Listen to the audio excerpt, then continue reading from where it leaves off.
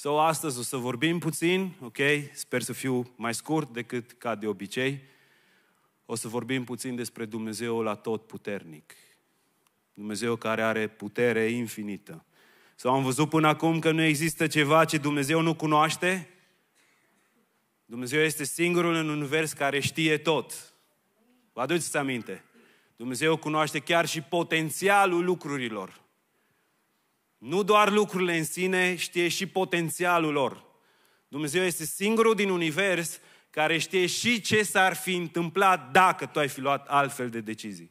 Știe totul, totul. Gândiți-vă că în, în ADN-ul omului este inscripționat, ok? În ADN-ul omului este inscripționat rasă, cultură, uh, dacă vreți, forma urechilor, cât de mult vor crește. Dumnezeu cunoaște toate lucrurile astea. El poate să intre în ADN-ul tău, să acceseze, dacă vrea, ADN-ul tău să știe totul despre tine. Știe, noi niciunul dintre noi, eu nu știu ce înălțime o să aibă fiicele mele când au 18 ani. Mi-ar fi plăcut să știu, dar nu știu. Ok? Nu știu ce greutate o să, au, o să aibă, nu știu dacă își păstrează culoarea părului, a ochilor, în felul în care le au acum, dar Dumnezeu știe toate lucrurile astea. Dumnezeu este atot cunoscător. Și eu am spus că Dumnezeu știe aceste lucruri fără să fie limitat de timp și de spațiu. Dumnezeu cunoaște în același moment tot ce s-a întâmplat în toată istoria.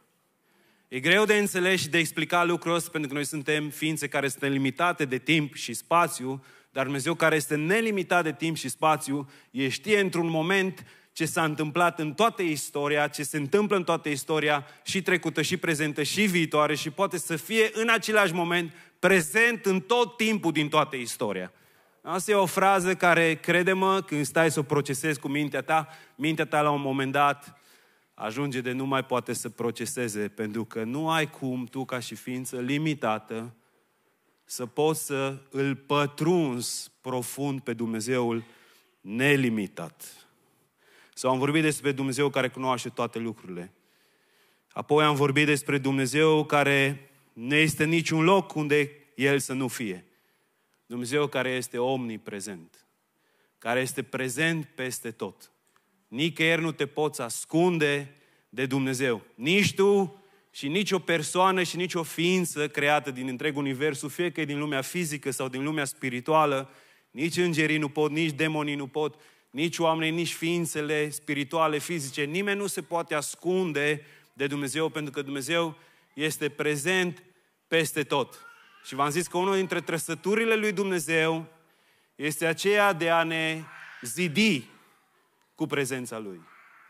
Prezența Lui este vie în mijlocul nostru ca să ne zidească, ca să ne întărească, ca să ne binecuvinteze. Și apoi astăzi vorbim puțin despre omnipotența lui Dumnezeu. Na, poate trebuie să ne rugăm pentru un copil dimineața asta.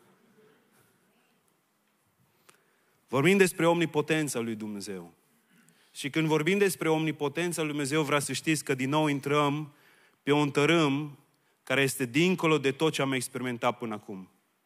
Și cumva, ca să vă fac atenți, vreau să știți că toți suntem cumva preocupați, într-un fel sau altul, de această problemă a puterii.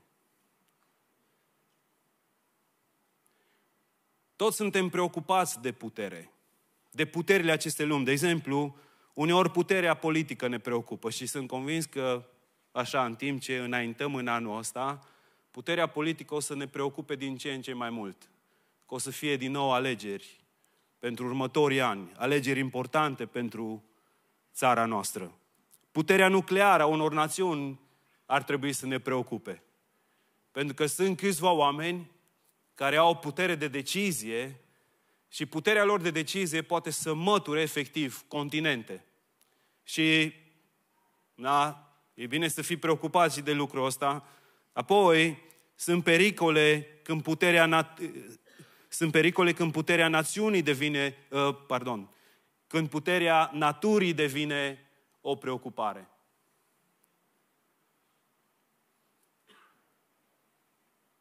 Nu știu dacă ați experimentat vreodată puterea unui uragan. Ați prins vreodată vreun uragan? În România n-ați prins, dar Pe vremuri, când eram... Doamne fer, amin. Pe vremuri când eram în Statele Unite, eram în, în Virginia la un moment dat și uh, s-a iscat un uragan și, sincer, pentru că nu știam ce înseamnă uragan, pentru că noi am avut așa numai niște vântulețe pe aici, prin țara noastră, eu nu eram aproape deloc preocupat, nici nu mă prea interesa. Vedeam că toți americanii disperați, aleargă la magazine, își fac provizii, nu știu, mă gândeam, mă, dar ce poate să fie? Trei zile am stat în casă. Și cred că m-am rugat cel mai intens din viața mea. Deci sufla vântul cu o putere de credeam că, deci toată casa aia, toată casa suna. N-am dormit trei zile, trei zile, zi și noapte, a suflat vântul și am crezut că ajungem pe la știri și eu mă uit la știri din altă dimensiune. Dar Dumnezeu a avut milă de noi. Vezi, pentru noi care n-am experimentat așa ceva, e greu să înțelegem. Dar puterea unui uragan este foarte mare. Unii poate ați experimentat inundații. Puterea naturii când se dezlănțuie face prăpăt și face ravagii. N-am avut parte aici, în țara noastră, cu toate că așa, uh, anul trecut puțin așa am simțit și la Timișoara puterea unui cutremur. Pentru că din 1977 n-am mai avut un cutremur major în țara noastră. Dar cutremurile produc, fac prăpăd. Am fost feriți de incendii masive, din nou ca și țară, dar sunt națiuni ale Pământului care au incendii de vegetație anual și se întâmplă lucruri catastrofale. Și puterea asta ne preocupă. Vreau să știți că niciuna dintre acestea nu se pot compara absolut deloc cu puterea lui Dumnezeu, cel tot puternic. Iar puterea lui Dumnezeu include exercitarea unor forțe inimaginabile care reflectă gloria lui divină și împlinirea planurilor sale suverane.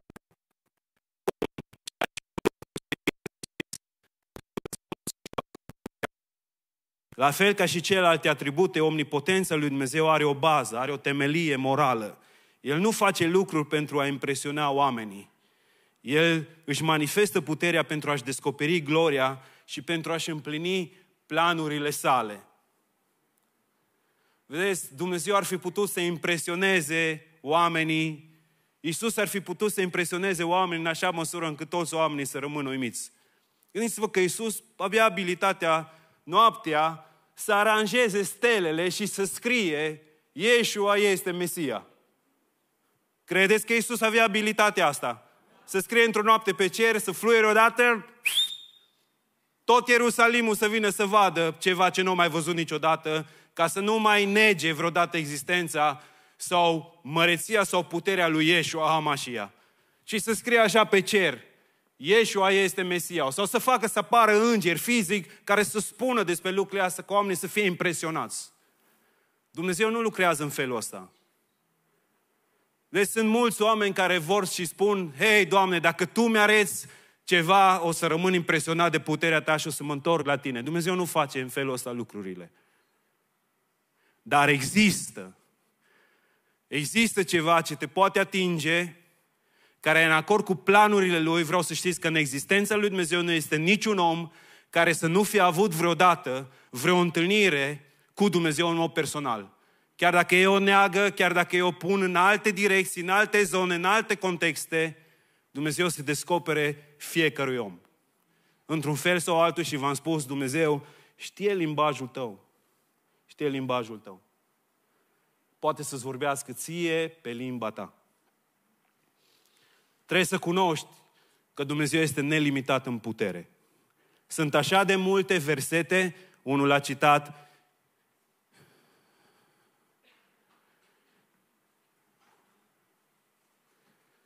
în dimineața asta despre Dumnezeul la tot puternic. Sunt o grămadă de versete, dacă vreți, Isaia 40 cu 28, Psalmul 147 cu 5, Isaia 62 cu 11, toate spun că Dumnezeu este atotputernic. Că tot ce a fost creat, a fost creat de atotputernicul Dumnezeu. Da, să știți că Dumnezeu a făcut multe lucruri pe care noi încă nu le-am descoperit. Noi suntem niște ființe care ne plictisim așa de ușor. Și ne plictisim așa de ușor în timp ce credem că știm tot. Dar vreau să știți că nu știm nimic. Mai deschide așa câte o carte, fetele mele sunt fascinate despre fetele mele sunt fascinate de o carte despre univers. Avem pe acasă o, o enciclopedie a Universului, uneori duc cartea și la grădiniță să le, alte, la, să le arate la alți oameni despre stele, despre galaxii, de, și nu înțeleg aproape nimic din cartea aia, fetele mele, vă zic sigur. Și nici tata lor, în timp ce citește, nu înțelege aproape nimic. Dar sunt fascinate de imensitatea asta a creației lui Dumnezeu. Și v-am mai zis lucrul ăsta, imensitatea asta a creației lui Dumnezeu. Dumnezeu a lăsat-o așa, ca noi să rămânem uimiți de cât de puternic este El. Nici nu vă puteți imagina, pentru că nu există ceva ce să poată măsura ce forțe trebuie implicate doar ca pământul să rămână pe orbita lui. Ce forțe trebuie implicate ca soarele să nu se apropie mai mult de pământ. Pentru că să știți că e necesar doar câțiva kilometri soarele să se apropie mai tare de pământ și tot pământul să fie pârjolit, să nu mai rămână nimic de pe pământ. Gândiți-vă că Dumnezeu, în puterea Lui, ține soarele departe de noi. Ține pământul pe orbita Lui. Vedeți, dacă stați și studiați puțină știință, vedeți că mai sunt comete, mai sunt anumite uh, corpuri cerești, dacă vreți, corpuri astrale, care se mai lovesc de anumite planete. Planeta Pământ este o planetă păzită de Dumnezeu. Până în vremea istoriei, când se vor întâmpla cataclisme care sunt descrise în cartea Apocalipsa, până acum nu s-au întâmplat pentru că Dumnezeu păzește creația Lui. Doar gândiți-vă la lucrurile astea, pentru că lucrurile astea vorbesc despre puterea lui Dumnezeu. El nu doar că nu are limite în ceea ce poate face, ci și în felul în care aceste lucruri sunt făcute. Puterea sa este atât de nelimitată, încât El este singura ființă din univers capabilă să creeze ceva din nimic. Știți că Dumnezeu nu are nevoie de materie primă, de materiale ca să clădească ceva. Noi n-am văzut niciunul dintre noi ceva creat ex nihilo, din nimic. Și nu este nicio ființă în univers, în afară de Dumnezeu, care să poată crea ceva din nimic. Noi, ca să putem să clădim ceva, avem nevoie de materiale. Avem nevoie de materie prime, avem nevoie de ceva cu care clădim. Cuvântul Dumnezeu spune că Dumnezeu suflă galaxii și El ia o ființă. Vedeți, noi trebuie să facem eforturi ca să clădim ceva. Trebuie să curgă transpirația, trebuie să consumăm energii. Ca să putem să creăm ceva, Dumnezeu trebuie să spună doar un cuvânt. Vedeți, nu există nimic în Dumnezeu care necesită efort. Puterea lui este atât de nelimitată încât nu trebuie să facă niciun efort ca să creeze ceva sau să facă ceva. În el însuși Dumnezeu are destulă putere ca să facă ceva. Dar noi avem, noi depindem de puterea altor lucruri ca să putem să facem ceva. Deci trupul nostru, ca să aibă putere, are nevoie de somn. Are nevoie de somn. În mod regulat. Ca să putem să avem viață, avem nevoie de anumite resurse pe care le consumăm în fiecare zi. Ia, cine poate să stea 10 minute fără să respire aici? Nu vreau să avem mormântare azi. Nimeni nu poate. Depindem de anumite lucruri, Dumnezeu nu depinde de nimic. În sine însuși, El este atot puternic, are putere nelimitată. Na, omnipotența asta lui Dumnezeu are expresii multiple. Odată, uitați, haideți să ne uităm la un verset, ca nu cumva să credeți că nu vorbim din Biblie. Ieremia 32, versetul 7. Ieremia 32 cu 7.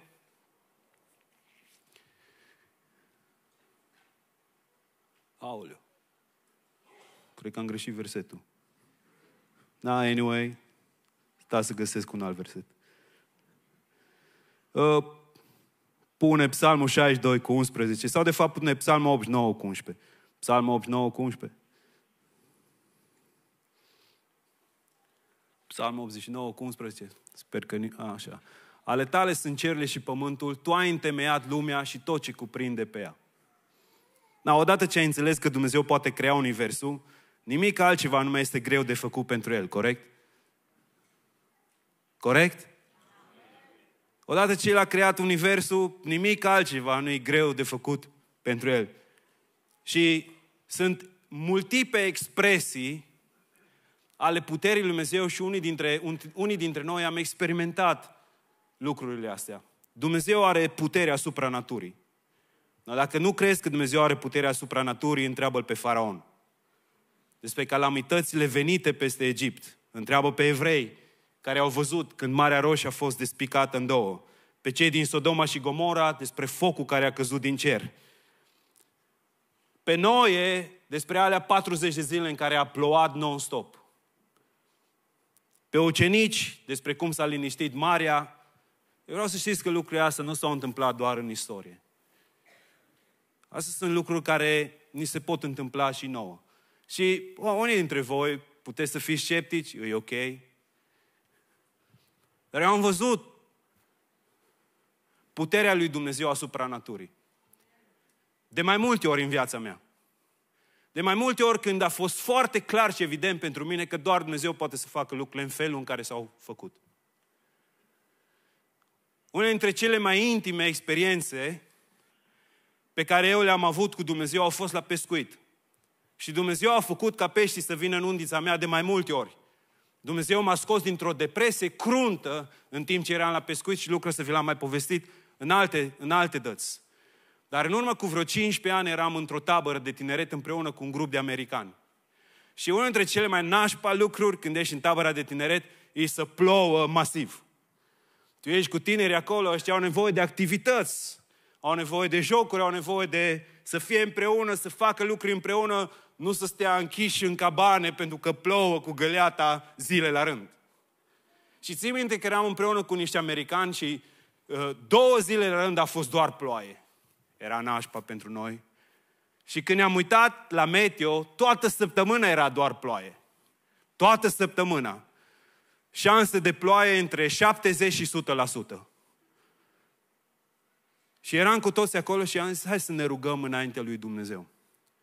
Da, eu am martor aici în sala asta, uite, unul e acolo, Cristi a fost martor, eram în tabără împreună și ne-am rugat lui Dumnezeu. Eram în munți, eram la Buteni, în județul Arad, în tabără, și ne-am rugat ca Dumnezeu să deschidă cerurile și să fie soare peste tabăra noastră. Efectiv, cu ochii noștri am văzut toți, s-a creat ca un pătrat de lumină în care a fost soare și puteai să vezi lucrul ăsta. Deci n-ai cum, vă dați seama că după aceea tabăra noastră a luat alte dimensiuni. Nu ai cum să stai și să nu fii mulțumitor și să lauzi pe Dumnezeu când tu vezi că la un kilometru distanță plouă cu găleata și deasupra taberei tale e un perimetru în care e soare. Un perimetru în care a fost soare. Și în rest ploua. Deci te uitai la distanță și vedeai că plouă, dar în perimetrul tău era soare. Și tu ți-ai desfășurat toate activitățile. Și lucrul ăsta n-a fost o zi. Lucrurile s-au întâmplat următoarele zile în tabăra noastră. N-am zis, unul dintre voi care nu credeți în lucrurile astea, o să fiți sceptici. Mm. Dar eu cred. V-am zis, eram la pescuit și de două ori s-a întâmplat, m-a rugat și Dumnezeu a făcut să vină pești la undița mea. Și apoi am zis, wow, pe o să fiu campion mondial la pescuit în felul ăsta.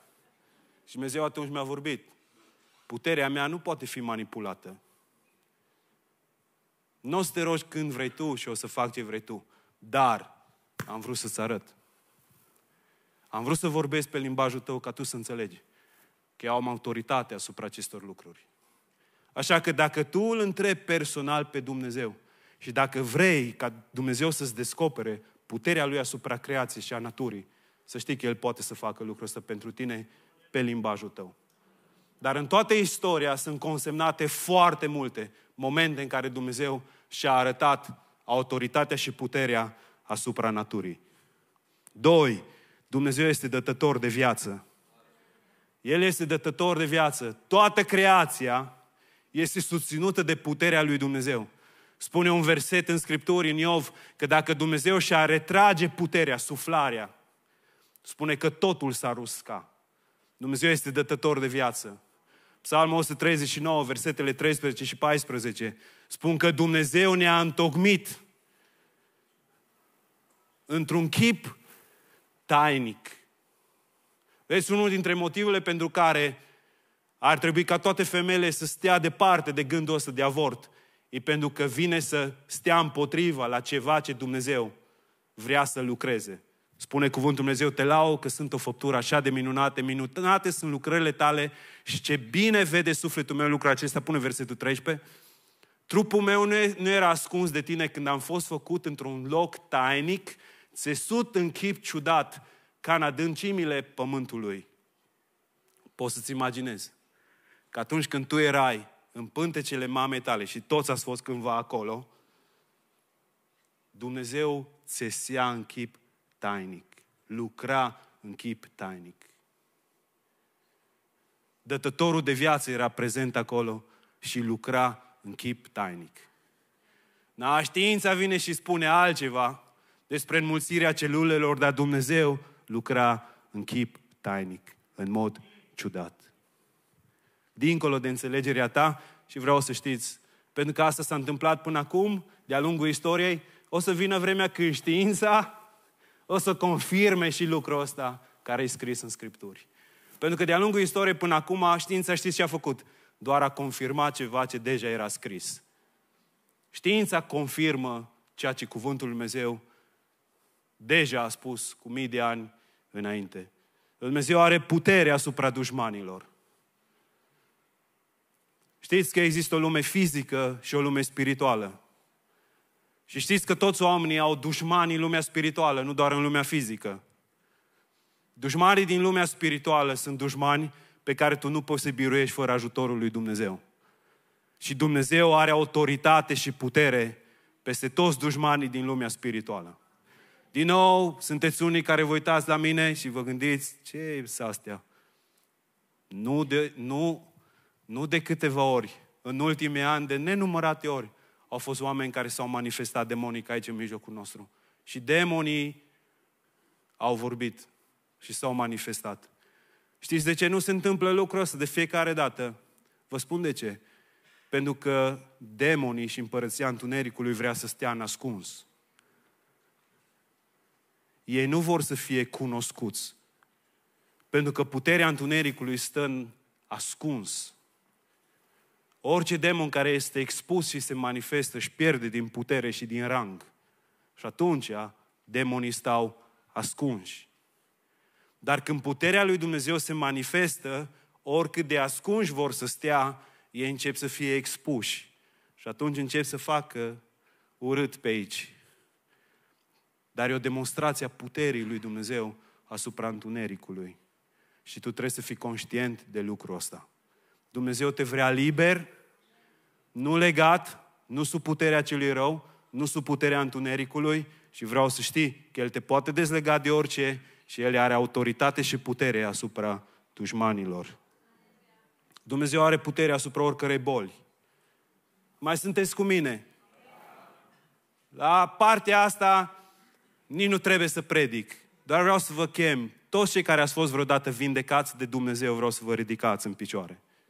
Cine a fost vindecat odată, odată în viața lui. Dar nu de vreo răceală și de, știu eu, care ți-o trecut cu medicamente, ci pur și simplu Dumnezeu te-a vindecat. Vezi? Îți de ajuns ăștia? Bun. Asta e mărturia că Dumnezeu are putere asupra oricărei boli.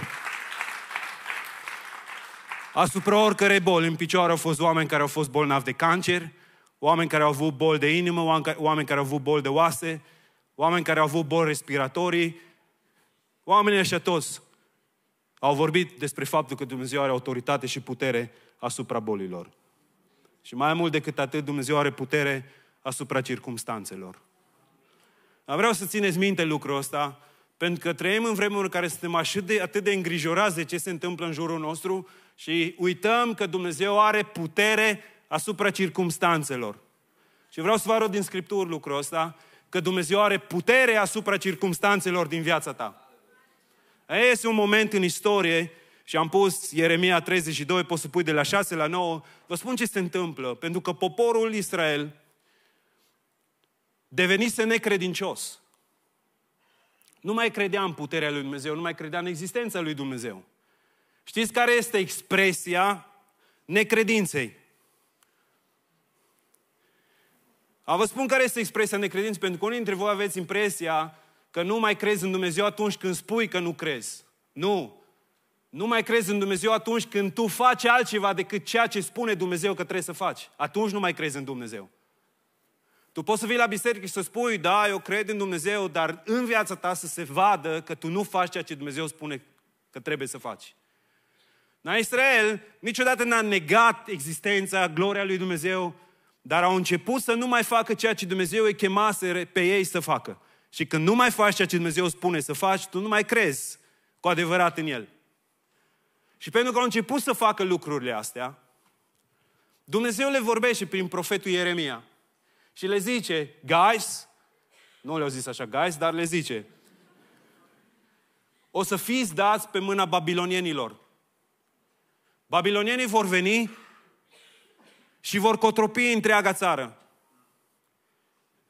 Și o să fiți sclavii lor, o să fie un asediu asupra cetății Ierusalim din partea Babilonului, dar în mijloc al lucrurile astea, Dumnezeu îi vorbește lui Ieremia și spune așa, de la versetul 6. Ieremia a zis, cuvântul Domnului mi-a vorbit astfel. Iată că Hanameel, fiul unchiului tău, Shalum, va veni la tine să spună, cumpără ogorul meu care este la Anatot, căci tu ai drept de răscumpărare ca să-l cumperi. Și așa Hanameel, fiul unchiului meu, a venit la mine după cuvântul Domnului în curtea temniței și mi-a zis, cumpără ogorul meu care este la Anatot în țara lui Beniamin, căci tu ai drept de moștenire și de răscumpărare, cumpără-l. Am cunoscut că era cuvântul lui Dumnezeu. Versetul 9. Și am cumpărat de la Hanameel, fiul unchiului meu, ogorul de la Anatot și am cântărit argintul 17 sicli de argint. Dar știți ce spune versetul ăsta? Du-te și cumpără o bucată de pământ care o să fie cucerită de babilonieni și asupra căruia Babilonul o să aibă putere și autoritate. Da, Ieremia ascultă și își cumpără o bucată de pământ, dar porunca asta sună așa, ca și cum cineva îți poruncește să așezi scaunele pe puntea vasului Titanic înainte să vină calamitatea. Cam așa sună. Și ca să înțelegeți că așa sună și asta s-a întâmplat în versetul 25, Ieremia le întreabă pe Dumnezeu, Doamne, ce rost are ca să mă duc și să cumpăr un teren care o să fie a babilonienilor? Ce rost are să mă duc și să cumpăr? Toate, totuși, Doamne Dumnezeule, Tu mi-ai zis, cumpără-ți un ogor cu argint și pune și martor, când totuși cetatea asta o să fie dată în mâna haldeilor. Care e rostul? Care e rostul? Și Dumnezeu îi vorbește mai departe în următoarele versete și spune, tu cumpără ogorul respectiv. Pentru că o să vină o zi când eu o să aduc pe toți înapoi. Vezi, Dumnezeu știe circumstanțele mai dinainte, știe ce se va întâmpla în ani de zile aici, în istoria asta lui Ieremia. Știe că poporul va veni înapoi. Și Domnul îi spune, cumpără acest ogor ca și o imagine a faptului că eu sunt Dumnezeu care stăpânesc asupra circumstanțelor și că lucrez în mijlocul lor. Și este un lucru de care tu ar trebui să te legi. Pentru că chiar dacă acum poate nu vezi înaintea ta lucrurile, poate acum trăiești în vremuri în care ți-ai rupt toate promisiunile, Dumnezeu ți-a promis și ți-a zis de-a lungul istoriei că va face anumite lucruri, dar ești într-o zonă în care nu vezi nimic din lucrurile astea. Vreau să știi, Dumnezeu rămâne credincios la ceea ce El a promis. Mă auzi? Dumnezeu rămâne credincios la ceea ce El a promis. Poate tu nu vezi acum din pricina circumstanțelor și nici Ieremia n-a văzut rostul, dar Dumnezeu i-a spus, tu cumpără ogorul respectiv pentru că va veni o vreme când toți vă veți întoarce înapoi și tu te vei întoarce pe ogorul tău. De aceea, frați și surori, să nu minimalizăm puterea lui Dumnezeu și să nu uităm promisiunile lui. Ceea ce Dumnezeu a promis, El este un Dumnezeu care va face. Și nu în ultimul rând, Dumnezeu are putere asupra morții. Și asta este o promisiune a lui Dumnezeu pentru toți sfinții lui. El are putere asupra morții. Lazar a înviat ca și expresie a faptului că Dumnezeu are putere asupra morții. Ca lumea să cunoască că moartea nu este mai puternică decât Dumnezeu și că la moarte nu se încheie lucrurile.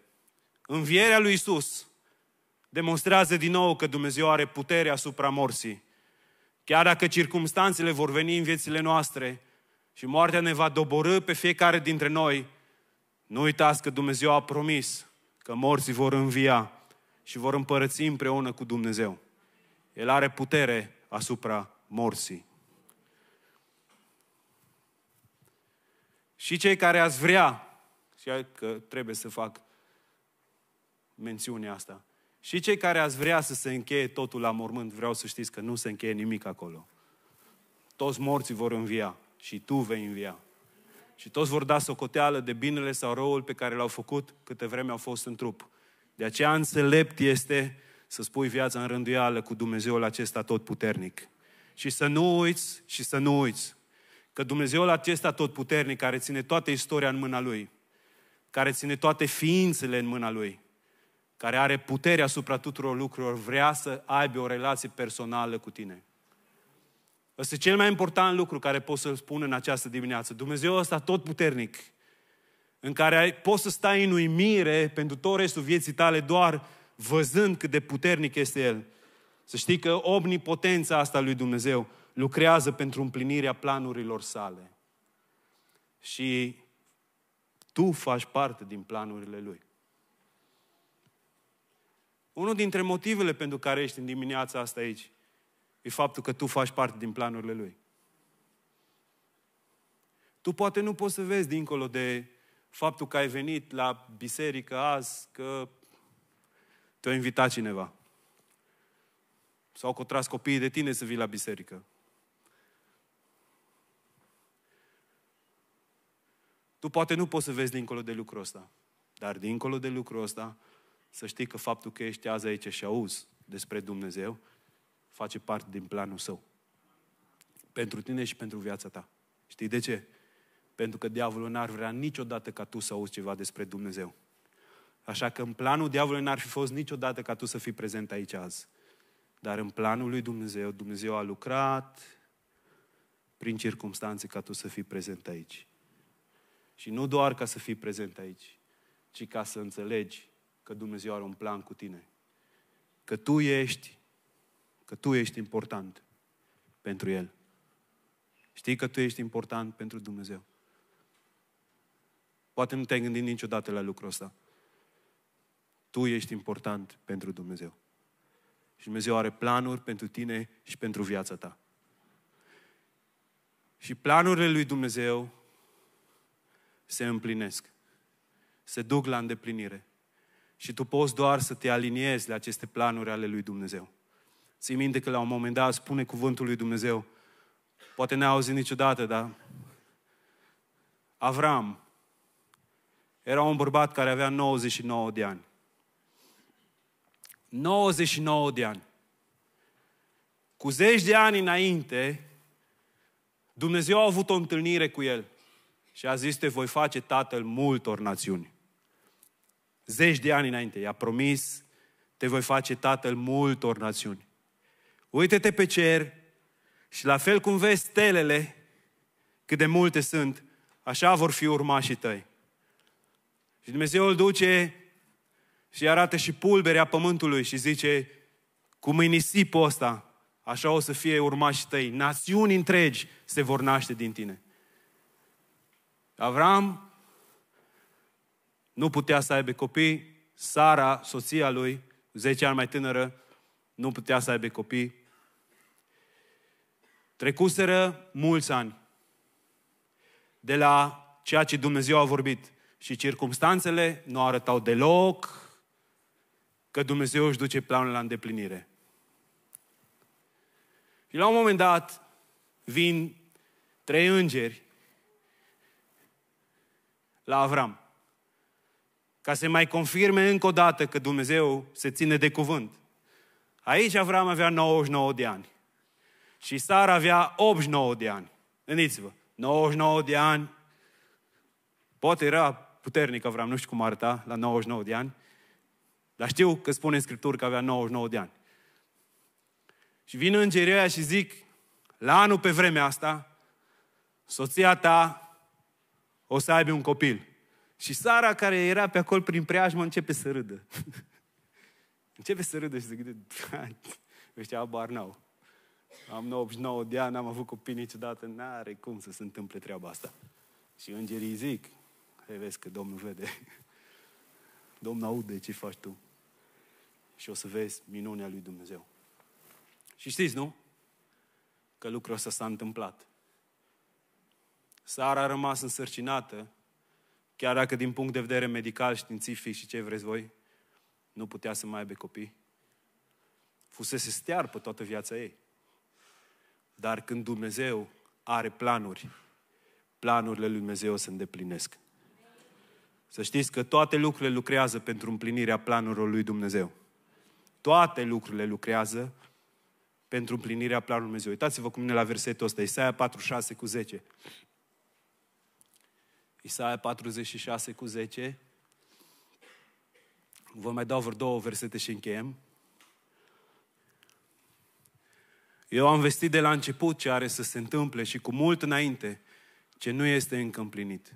Eu zic, hotărârile mele vor rămâne în picioare și îmi va aduce la îndeplinire toată voia mea. Știți, când Dumnezeu a decretat cuvântul ăsta, când Dumnezeu a vorbit lucrul ăsta, toate lucrurile au început să se alinieze la cuvântul ăsta. Totul se aliniază. Când El a zis, hotărârile mele se vor împlini și toată voia mea se va face, totul în istoria asta, totul, totul lucrează pentru împlinirea planurilor Lui. 2 Timotei 1 cu 12, 2 Timotei 1 cu 12, ca să înțelegeți că în planul lui Dumnezeu noi suntem foarte importanți și din pricina aceasta sufer aceste lucruri, dar nu mi-e rușine că știu în cine am crezut și sunt încredințat că El are putere să păzească ce am încredințat până în ziua aceea. Domnul are putere să păzească ceea ce tu îi încredințezi. Ți-ai încredințat viața în mâna lui Dumnezeu. El are putere să-ți păstreze viața.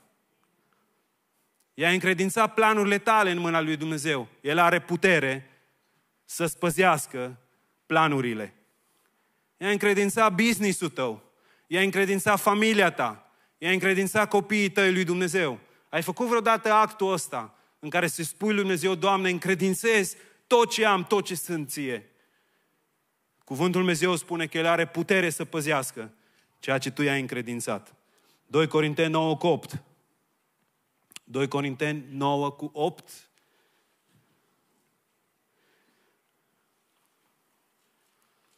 Și Dumnezeu poate să vă umple cu orice har, pentru că având întotdeauna în toate lucrurile din destul, să prisosiți în orice faptă bună.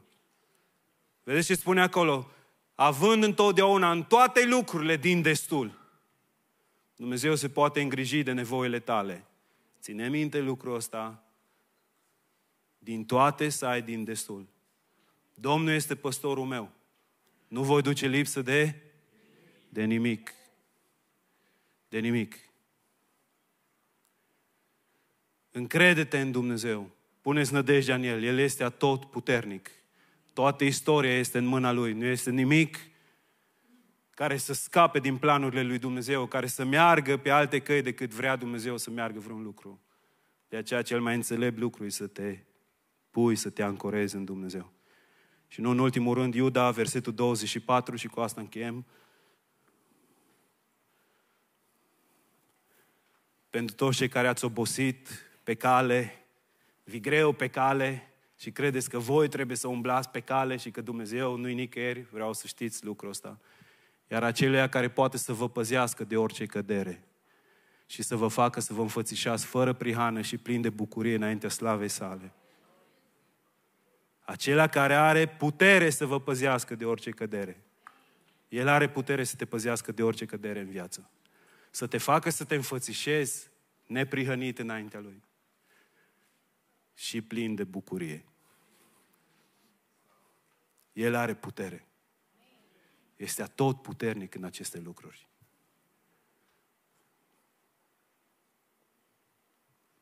De aceea, din nou, cel mai înțelept lucru pe care putem să-l facem e să ne încredințăm viața în mâna lui Dumnezeu.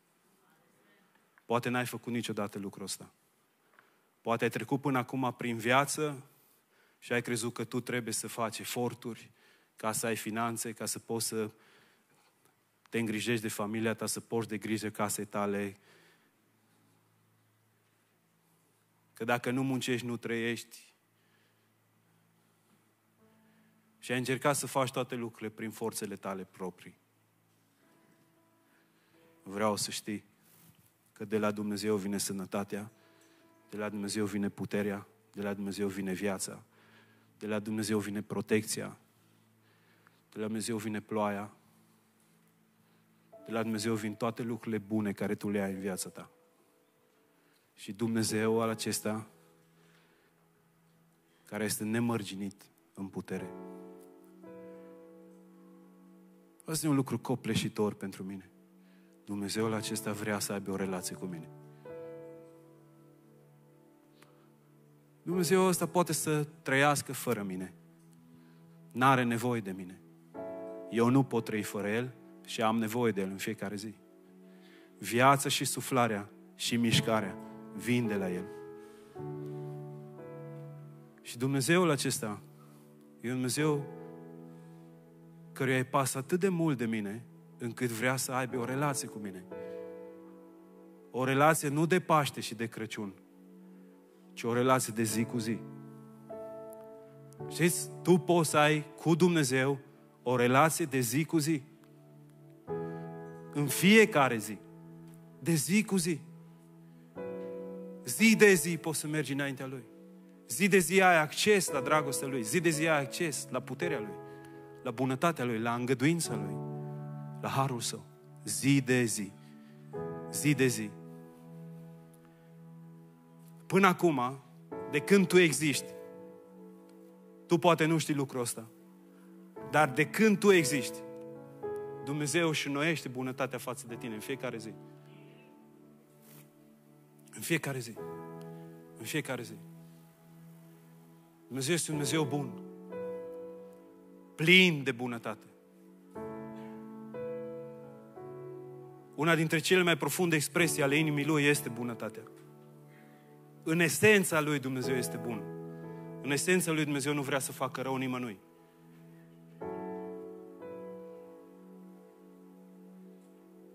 De multă vreme Dumnezeu caută să te întâlnească. Și ți-a vorbit pe limbajul tău și tu negi. Te faci că plouă, te faci că nu știi, te faci că nu înțelegi. Când cel mai înțelept lucru ar fi să-i răspunzi. Și să-ți încredințezi soarta în mâna Lui. Indiferent cum a fost viața ta până acum, când încredințezi viața ta în mâna Lui, vreau să știi este cel mai bun lucru care tu poți să-l faci pe acest pământ. Și chiar dacă circumstanțele nu ți se schimbă în ziua aceea, vreau să știi că lucrurile vor lucra spre binele tău, veșnic. Printr-o simplă decizie, poți să-ți dai seama, printr-o simplă decizie a ta, de a-L face pe Dumnezeu parte din viața ta, toate lucrurile în viața ta se schimbă și merg într-o direcție în care trebuie să meargă. În ceea ce Dumnezeu vrea să facă cu tine, cu viața ta. Haideți să stăm fiecare dintre noi înaintea lui Dumnezeu. Toți oamenii care suntem aici, suntem trup, suflet și duh. Și există în noi, în toți oamenii, există capacitatea de a ne conecta la Dumnezeu. Noi putem să-L auzim pe Dumnezeu, și putem să ne conectăm la Dumnezeu. Și în dimineața asta Dumnezeu vrea să vorbească cu tine. Și Dumnezeu te cheamă să-ți încredințezi soarta în mâna Lui. Să lași pe El să conducă în viața ta. Să lași pe Dumnezeu să te transforme, să te schimbe. Tu nu ai putere să-ți păzești viața, să-ți păstrezi viața. El are putere și să-ți o păzească. Are putere și să-ți o păstreze.